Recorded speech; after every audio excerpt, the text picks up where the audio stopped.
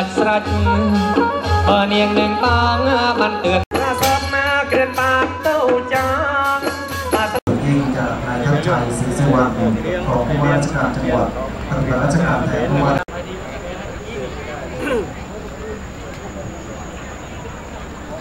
ครับทั้งหมดแล้วต้อง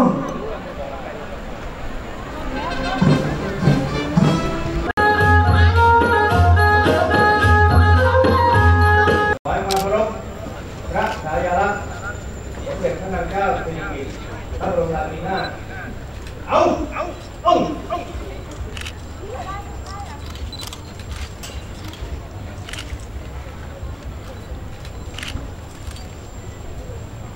ปกกระหม่อมข้าพระพุทธเจ้า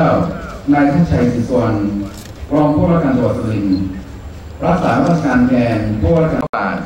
ได้เวียนมาบรรจบอีกวาระหนึ่ง และสำนึกในพระมหากรุณาธิคุณ ปกเกล้าปกกระหม่อมหาที่สุดมิได้ ที่ทรงมีต่อปวงราชินีประจำปี 2558 พร้อมด้วยหัวหน้าส่วนราชการ ทหารตำรวจ พ่อค้าและประชาชนจังหวัดสุรินทร์กราบเรียนท่านรองผู้ว่าราชการจังหวัดสุรินทร์เป็นศูนย์กลางในการฝึกอบรม สาธิต อนุรักษ์ และส่งเสริมศิลปาชีพทุกสาขา ท่านผู้แทนผู้บัญชาการกองกำลังสุรนารี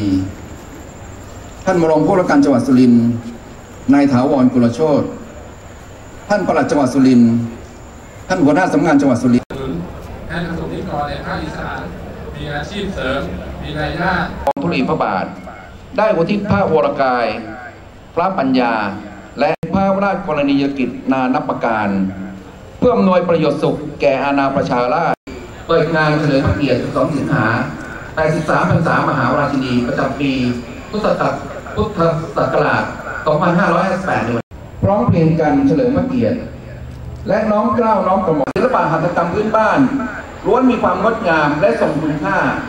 ที่ซุกซ่อนอยู่ในวิถีชาวบ้าน ซึ่งนับวันสิ่งเหล่านี้จะยิ่งสูญหายไปเรื่อยๆในวันที่ 12 สิงหาคม 2558 นี้ ขอพระองค์ทรงวัดเกษมสำราญณบริเวณศูนย์ส่งเสริมศิลปาชีพอีสานใต้จังหวัดสุรินทร์ำหรับท่านที่ยังอยู่ในบริเวณเต็นท์นะครับ หรือว่าบริเวณใต้ต้นไม้